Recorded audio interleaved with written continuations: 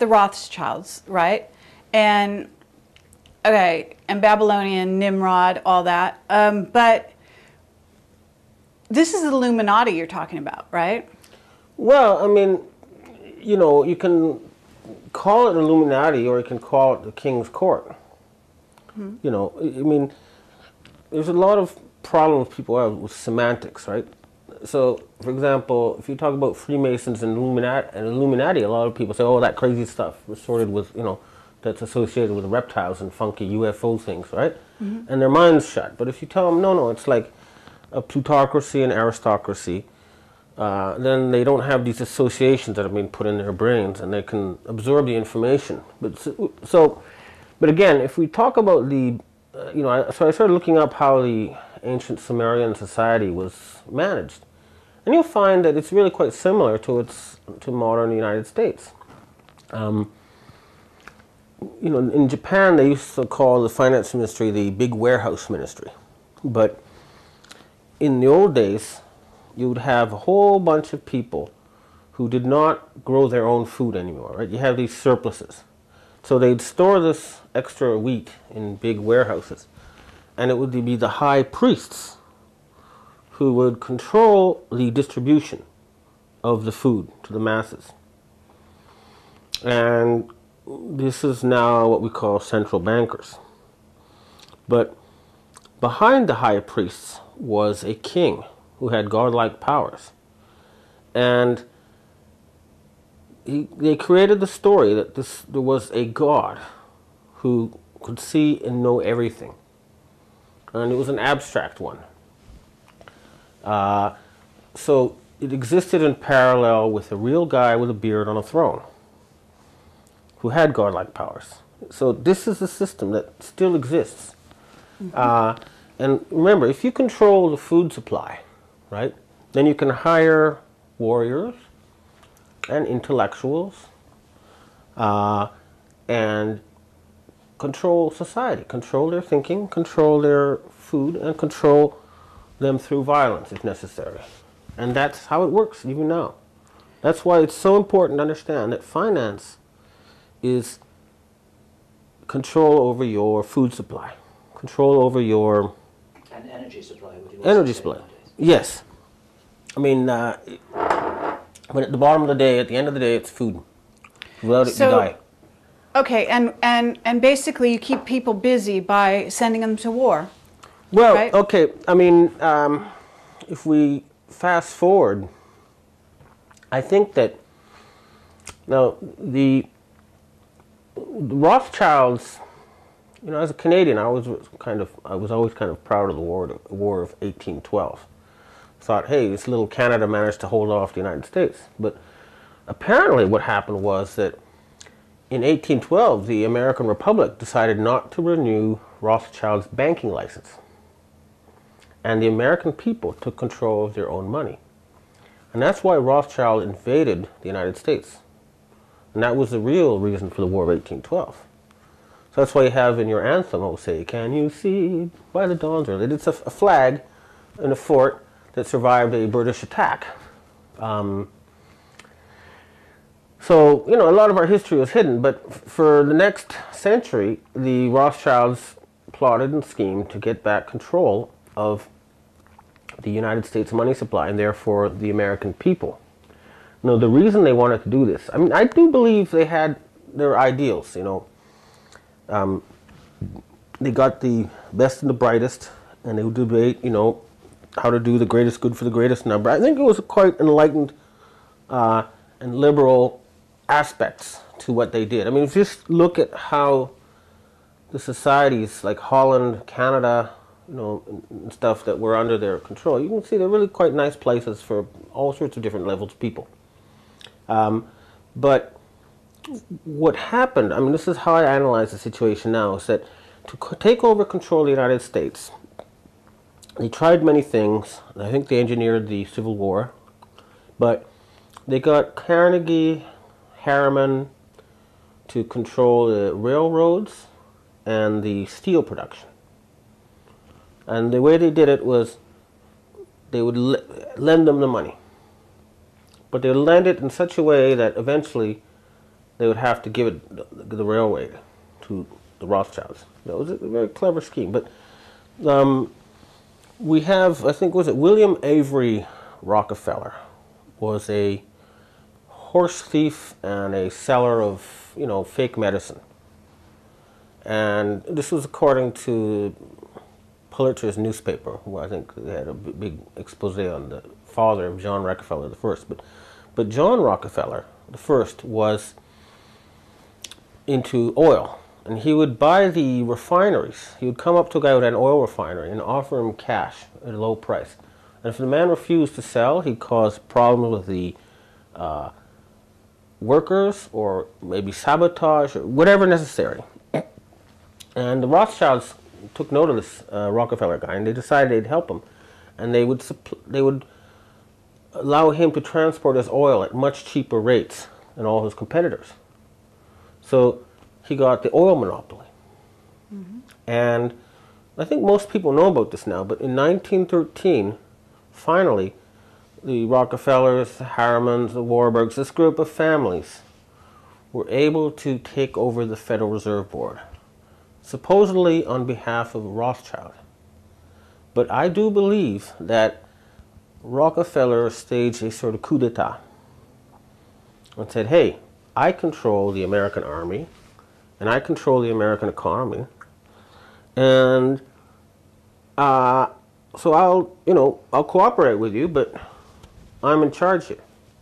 And he took over the United States. So I think it became a Rockefeller fief, not a Rothschild one.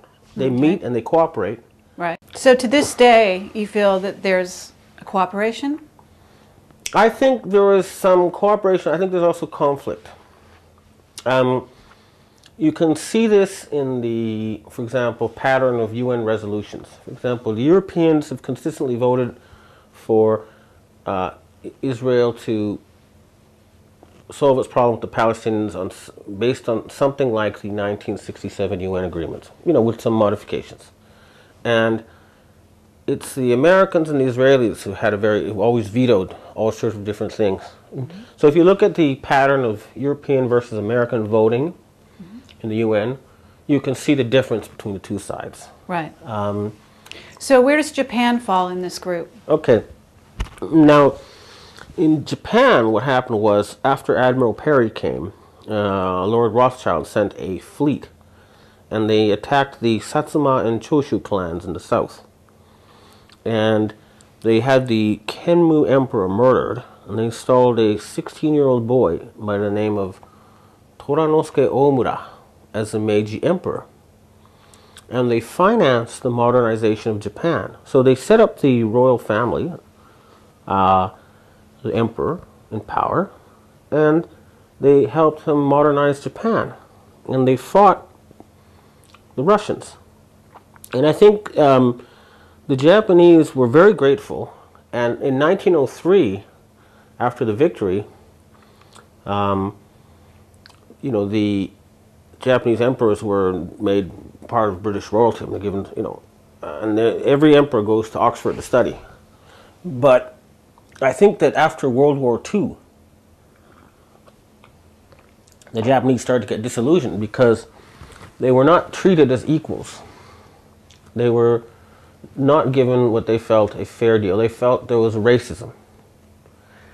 And that and this was the essential reason why the British Empire never became a real world empire was because they would take some very intelligent Indian gentleman, educate them at Oxford, give them the highest levels of knowledge. But at the end of the day, they'd say, "Well, you're a wog. You're a bloody wog. So you're just going to have to work for us." If they had made it possible for someone like Gandhi to be the head of the entire British Empire, in other words, let them in, let them join the upper ranks, they would still be in control of the planet to this day. But because they were saying essentially, you know, at the very top it's a white man's club and you guys are just high level servants, well, they alienated them. Um, Okay, but how does this relate to World War II and and you know the whole? I mean, okay, the so- Americans eventually. If you're saying Rockefeller helped the Japanese up to a point, No, no, I'm saying happened? Rothschild helped the Japanese. Okay, Rothschild. but in the 1930s, the Japanese made a break for independence. they wanted to set up the Southeast Asia co-prosperity sphere. They wanted to modernize all the yellow countries so that they could stop colonization by the whites. That's how they looked at it. Unfortunately, the Japanese are an island people and they're not very good at um, uh, relations. But what you also have to realize is that history is written by the winners. And so uh, the reason the Japanese were able to take over most of China and were only stopped by U.S. invasion uh, was because a lot of Chinese actually welcomed them. This is something that you don't read in your history books. But they, there, was, there was an attempt by the Asians to prevent uh, being colonized. They look at Europeans as like the Borg in Star Trek. Only one way of thinking is correct. If you imagine this giant pyramid of a society with its eye at the top, and you will be assimilated, you know, resistance is futile. I mean, that's how they look at us. And there's something to it. There is a sense that if it's not done the Western way, it's wrong. Uh, good example is the pachinko. I mean, it, they do have gambling and it does work, but it's not within the Western style law, legal framework. It's in a separate framework. The same way with the bureaucrats. They decide the law. Uh, and that's a, a more living, fast reacting system than, you know, using endless courtroom battles. I mean, Americans are, you know, what, 4% of the world population, 20 some percent of world GDP, but 50% of the world's lawyers and 50% of the world's military expenditures. So, you know, a lot too much time spent arguing and fighting as far as the Asians are concerned. you know, so you got to remember, they, they look at things very differently. It takes a long time to understand their perspective. Okay, so but you wrote a book about Rockefeller and how he his role. Okay, what happened was, okay, once I started to understand all this, and I realized that okay, after World War II ended, it, you know, control went of Japan went from the Rothschilds to the Rockefellers, and at first they said to the Japanese, "You just go ahead and develop your economy any way you want, rebuild your economy." And as long as you're militarily allied to the U.S., that's all we care about, right? Um, until the 1980s, when Japan had these huge trade surpluses, and this made them very, very nervous. And I now realize why. It's because they got, they had won World War III without fighting, without firing a single shot, because they had managed to control most of the world's financial assets. And money is power. If you have that money, you can hire the soldiers, you can hire the intellectuals, you can. So how are you saying Japan did this? By working hard and generating trade surpluses. Okay. So the- electronics, Electronics, cars, uh, you know, nice products that people want to buy. right? Um, and, you know, they were, well, I mean, they had the control of the money, and, and th- this is where they started to get worried, and they, they set out to kind of put the Japanese back in their place. And they managed to get them with this bubble, which was, you know, basically on U.S. orders. They said, uh, first of all, they said, okay, we want you to raise your yen right? Because they were trying to, they, they didn't want the Japanese to have control of the money. So they said to them at first, okay, make, you know, and the yen went from 360 to the dollar to at one point 79 to the dollar. But all that happened was the Japanese moved their industrial base to China and Southeast Asia and got them rich, right? Mm -hmm. Uh, so that didn't work. So finally, what they, they were doing was they were bullying and killing Japanese politicians. Who was? The Rockefellers, I would say, at the end of the day, in order to make sure they never were presumptuous enough to use their money the way they wanted to, but rather just hand it to the Americans. And I still haven't checked this out, but I'm pretty sure if you add up all the Japanese trade surpluses and the numbers, and then compare it to what's now officially recognized as Japanese assets, you'll find that the trade surplus is much bigger. In other words, it's like you go to a bar and you say, put it on my tab. And then after a few years, you say, well, look, you know, forget about half my tab. Just let's, you know, forget about it. And so the idea is that we'll just, we'll keep taking money from you forever. Uh, it's like tribute payments to the Roman Empire. They send cars, and they send TVs, and they get nothing back except paper. This is how they look at it. And it's right. For 30, 40 years, the Americans have been getting stuff from all over the world and not paying for it. Why have the Japanese then tolerated that for so long, in your opinion? Well, um, first of all, after World War II, they truly and genuinely fell in love with the United States. You know, they were told they're going to be tortured and stuff. I remember this guy shivering in fear, you know, after war, American soldiers coming, and, and they're going to torture him, what are they going to do? And the guy gives him a Hershey bar, right? And this is symbolic of, I mean, they were, they were really well treated, and, um, and up until the fall of the Soviet Union, they also really felt that they needed the Americans to protect them. And they have created this illusion of fear, right? If you don't have us, you're going to be conquered. But the other thing is that they've been subjected to very intense propaganda since the end of World War II. There was a Dr. Funai, well-known guy here in Japan, who had a senior American officer stay in his house after World War II. And the officer said to him, we're going to change your education system so that you don't get any more geniuses. Uh, and they did. There were the, the propaganda the Japanese have been subjected to is that, first of all, they've been given an inferiority complex. Second, they've been told that America is a wonderful country. And third, they've been told that without American protection, they're doomed. And they've been deliberately, their education has been dumbed down so they, they don't know how to argue. They don't know how to debate. They're being trained not to have opinions. But isn't this also part of the Oriental mindset that they, even the emperors, kind of push down to the people? Um, there is something to the traditional Confucian model, right? But, uh, but the traditional Confucian model, the, the, the key is that the people at the top have to be true models of modest behavior. I mean, they have to be very morally upright and treat their country like their family, like their kids, and, and be nice to them. So that's the, the philosophy. It's not just one of blind obedience to tyrant, but rather, ideally, it's like a generous, gentle father figure, which is what they aspire to.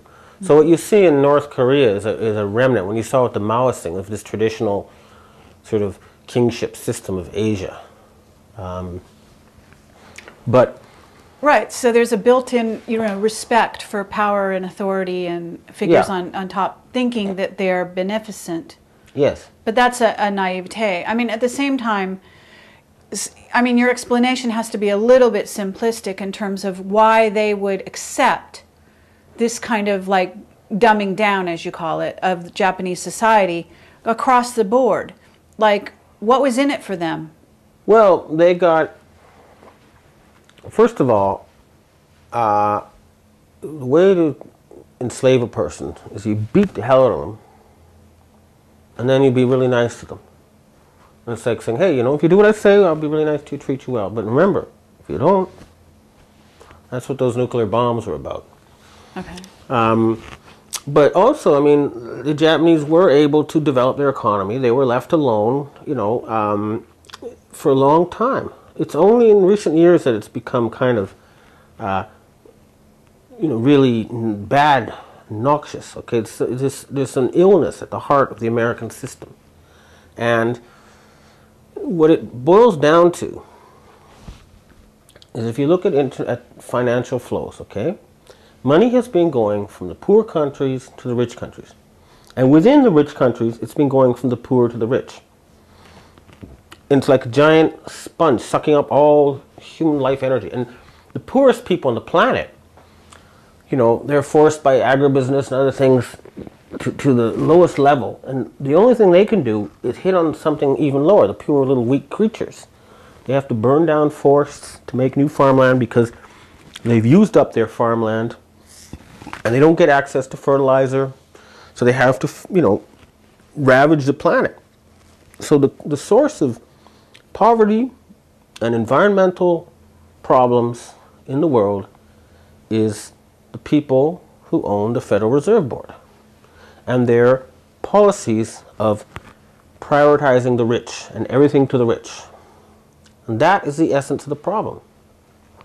And the Japanese have had their savings stolen from them, and they've been forced to adopt economic policies that have increased poverty here. The so-called reforms that Koizumi, Prime Minister Koizumi and Heizo Takenaka were forced by the Americans through blackmail to impose on the Japanese have meant that a, a, recent survey by the Asahi newspaper shows that the amount of people who think their lives have gotten worse since these reforms began is more than double the amount of people who think it got better. Uh, they have created a society split between the very rich and the poor. American society is also the same. Mm-hmm. American uh, male workers' salaries peaked in 1973, and they've been falling ever since. So, if you look at the medium the, the, the gross mean product. In other words, the level at which half the people are below and half the people are above. You find it's very close to the poverty line. Um, they've been taking money. It's really just too much money has been going to the rich, and they haven't had proper ways to spend it. And they've been deluded into thinking that the problem with the environment is too many brown people burning down forests, and so the answer is to get rid of them and they have been manufacturing diseases. Uh, the, there's solid evidence that AIDS, HIV, was made by the U.S. military. There's a bioweapon against Africans. Mm-hmm. Um, and what about SARS? SARS is a bioweapon that targets a specific gene that is very prevalent among Asians but almost never found among Caucasians. So it's a race specific bioweapon. Mm-hmm. And so, so let's get down to this whole association you had with the yakuza.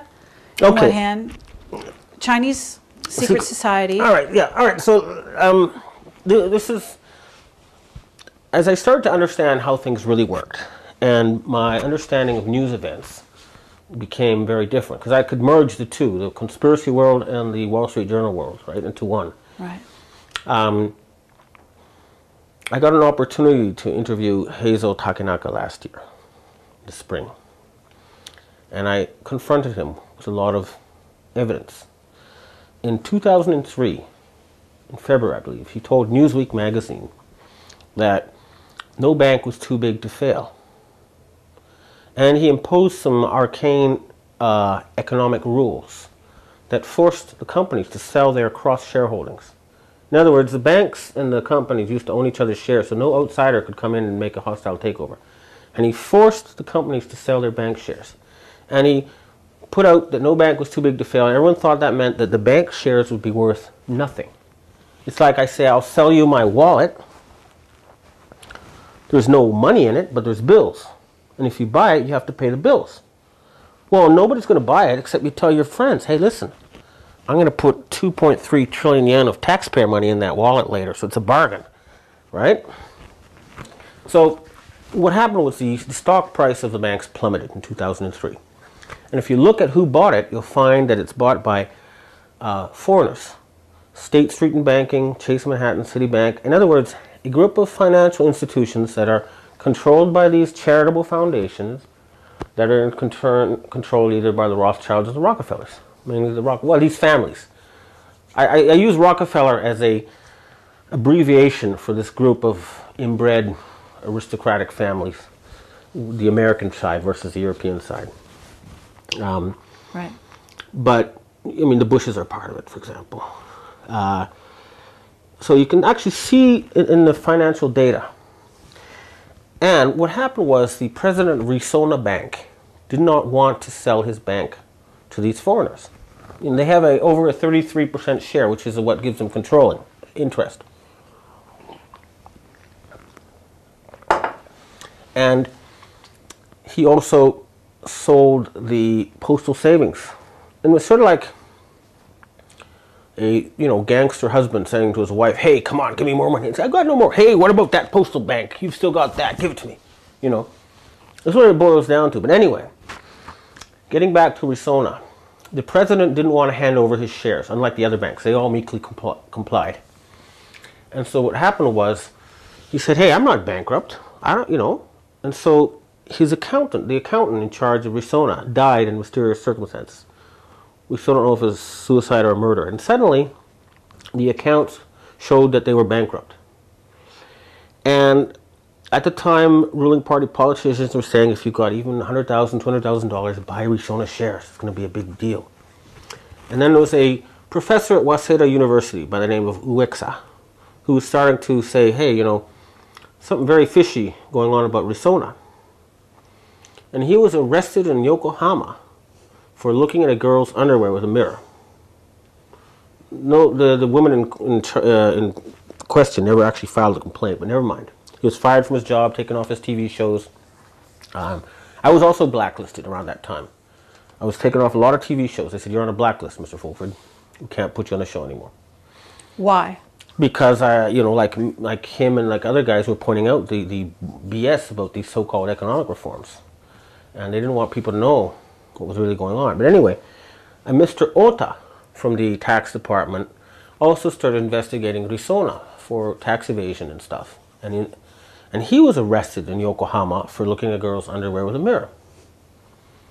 And then Mr. Suzuki from the Asahi newspaper, who had a big scoop years ago with the recruit scandal, put out on December 17th, year before last, an article saying that Resona was giving 10 times more donations to, the ruling party than other banks and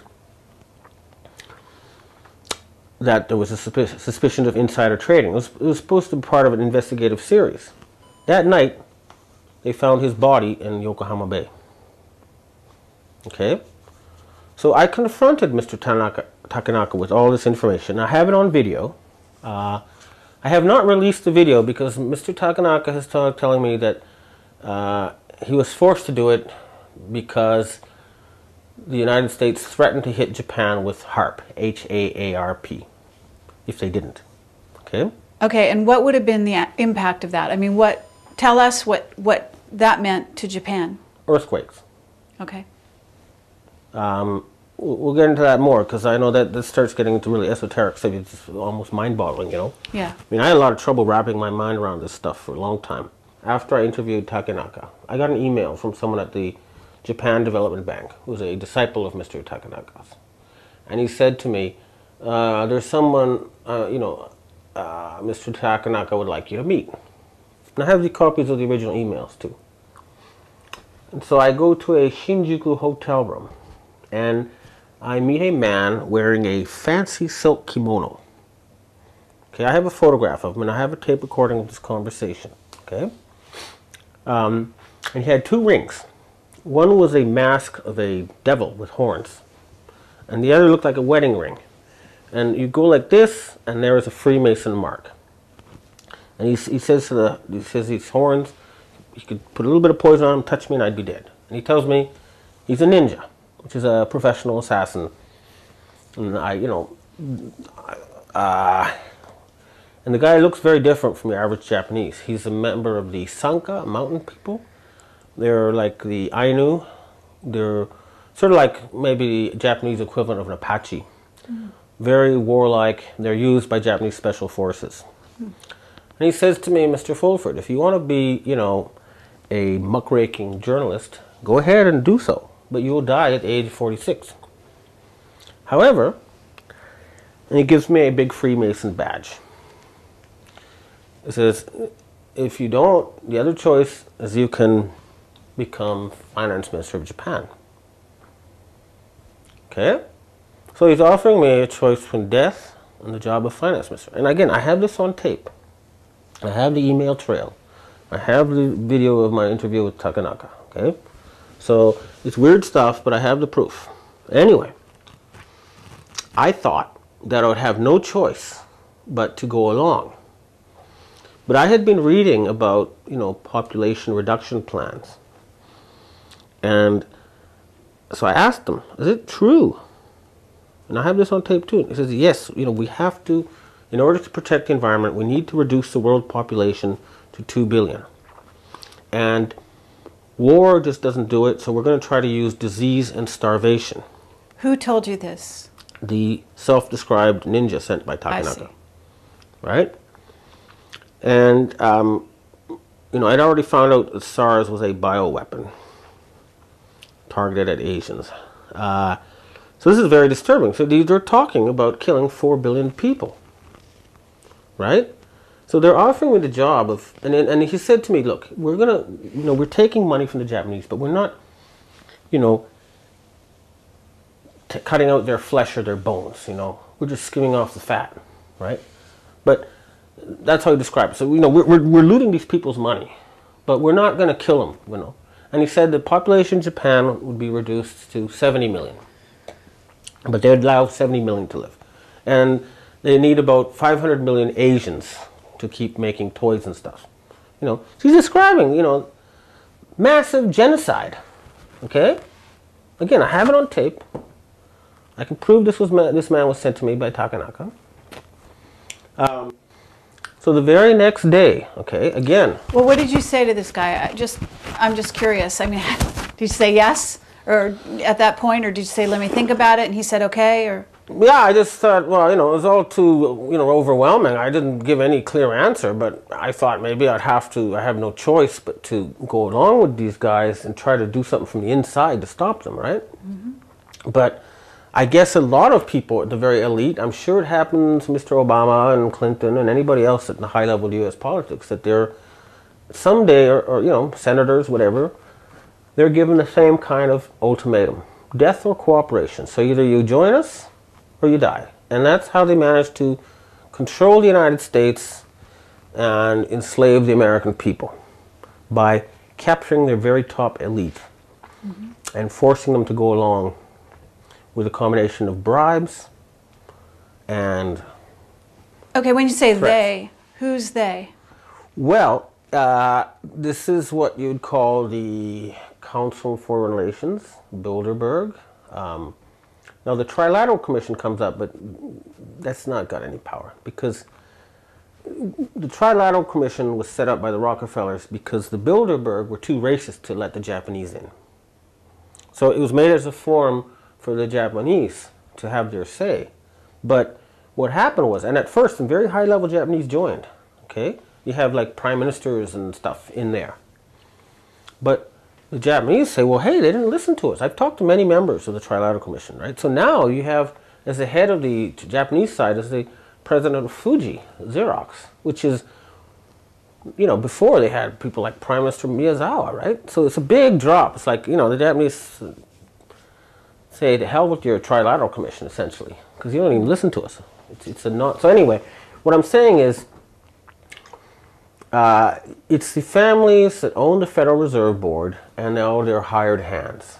They have the money. So Takenaka's guy, okay, that comes to you makes this offer to be a Freemason is sent by who at the top? well takenaka was a disciple of henry kissinger's and henry kissinger worked for david rockefeller and i had accused Takenaka of selling the japanese financial system to rockefeller mm-hmm. Okay, so basically, if you're like, imagine a video game, right?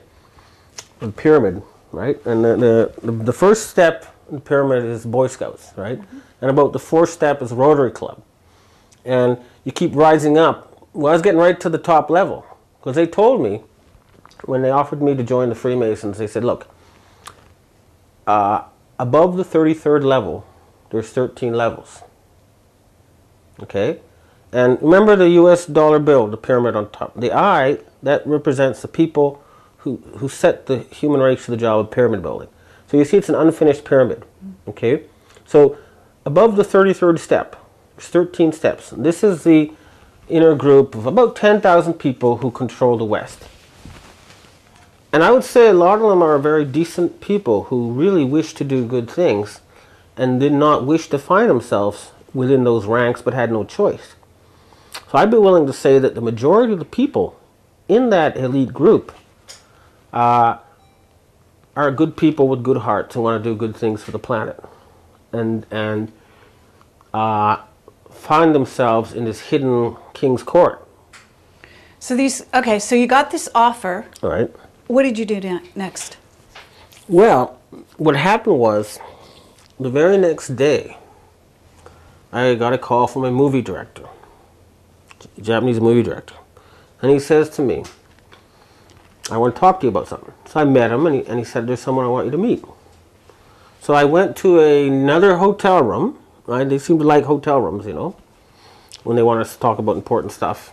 Um, and again, I recorded this, so I'll never release this recording. The guy tells me that he represents a Asian secret society and that they have 6 million members, including 1.8 million gangsters and 100,000 professional assassins. Now, as you I recall, I did tell you I had a degree in Asian studies with a China area specialty. So I had read about this society in the history books. I knew about them. It's the red and the green. Um, what happened was when the the Ming Emperor was like the the Ming Empire was like the high point of Chinese civilization. You'll find that the Ming ceramics, the Ming art, everything is at like the highest level. It was really an idyllic society, and they look back at it with you know a lot of fondness. And there was a general guarding the northern uh, border against the Manchus, and they he was very much in love with his wife. And they kidnapped his wife. They said, "If you want your wife back, you're going to have to let us through the gates." And he did. Uh, and the Ming Emperor fell. The Ming Empire fell. And the Ming Army became an underground organization, and the Ming Navy. Okay, so the red and the blue are the Army and the Navy. And the blue also is the bureaucracy.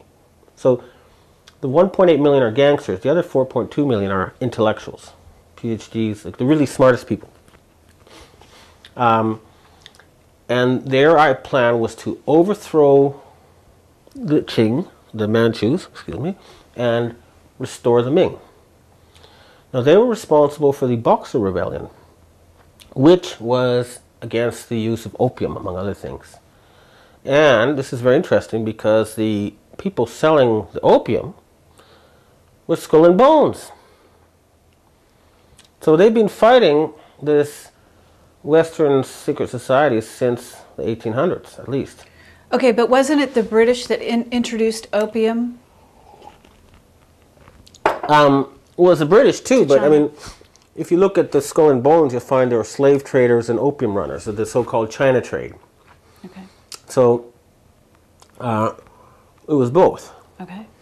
So you're you're in you're in this hotel room and and and now you understand the background between what he's asking you and saying what he where he Well, they're saying they offered, they'd like to offer their assistance to me. Because I had wrote in, I'd written in a book about SARS being a bioweapon and these people are trying to kill you and you got to do something about it, right? Okay.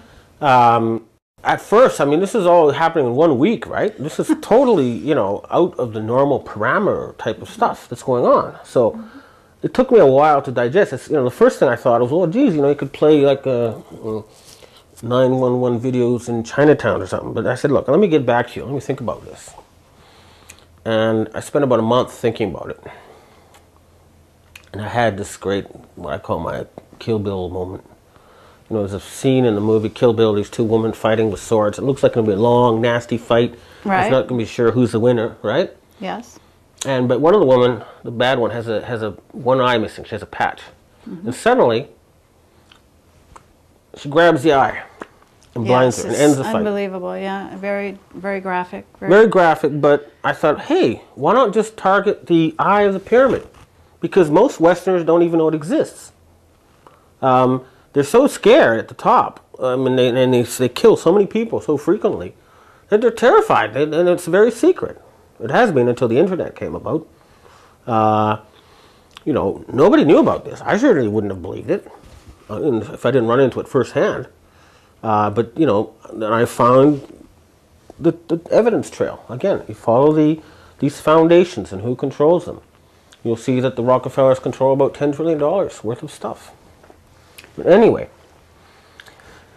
uh, I realized the society has six million members, and the Western secret site, the top is only 10,000. So it's 6 million against 10,000. So suddenly I said, well, that's it. Isn't it? We can, we can, we got these bastards. Uh, you know, but, and that's when I started writing the stuff on rents and, and you know, making, So okay, so you must have gone back to this group, which yeah, what do you call I- this group now? Because they're a group of yakuza and Chinese the, secret society. the, do they have a name? the red and the blue The red and the blue. societies. And, and you must have joined them because you're not dead. Yeah, And- well, I, I went to meet all their big bosses In China or or in Taiwan, oh yeah. um, and I joined. I became the first Westerner in 500 years to join. And then Rockefeller, or I don't know if you want to say Rockefeller, but whoever the Freemasons, the head of the Freemasons, had to leave you alone at that point? Well, I mean, what they, the Chinese or the Asians said is, look, we won't make the first move. But what happened was I started writing stuff about Takenaka and Rockefeller. And I got death threats from this ninja, you know, He's saying, you know, Ultraman, you're running out of time, your red light's beaming, you know, it's people who think they're don't gonna, they're not going to die are the ones who end up in Yokohama Bay. You know, lots of I have the emails, I have copies of these death threats. So Did I- you have a, gaudy, a bodyguard at that point? Did you hire someone? look? No? If you need a bodyguard, it's too late. Oh. You have to operate at a higher level. I mean, if they really want to shoot me, they're going to shoot me. Uh, you have to make them not want to shoot you. That's the trick. Okay, and now because you joined this group and because the odds, I mean, that made big news when you kind of came out about that. Um, but what happened was, I sent an email saying, "Hey, look, if you kill me, then every member of the Rockefeller, Rothschild, Schiff, etc. families will die." I mean, there, you know, there's 600 assassins for every one of them if we want to, right? I mean, we want them killed; they can all be killed, right? But We understood that to be the majestic, uh, the group, what we call uh, the committee of the majority. They were, in essence, the ones that were threatened. Is this Yeah. your understanding? I mean, that, that was the original idea, but what's happened since then is that I've been trying to get more accurate picture of what's going on. And I've, I finally narrowed it down to the standard, the people who control the standard oil monopoly and the people who control the Fed. They are the source of the problem. Um, the oil monopoly, the Americans think that's the key to their geopolitical power, is control over oil. But they've lost that control because Putin kicked them out of Russia. They don't control Iran. Maybe they do. I don't know about that. I, I think Ahmadinejad and Bush may be working for the same team. But anyway, I'm not sure on that one. But Venezuela is also free. Um, so they, they, they're losing their oil monopoly. And the other thing that's happened is that they no longer have, theoretically, the military ability to take on the rest of the world. Okay, the United States Army cannot defeat China. They've done many different exercises, and every time the Americans lose. The bottom line is the Chinese people are prepared to fight and win a nuclear war. They can put their entire population underground and hit the U.S. with 300 missiles and wipe out every city in the U.S. The Americans can wipe out the surface of China, but it will be underground. So they no longer, and then they can sink their aircraft carriers and shoot down their uh, satellites.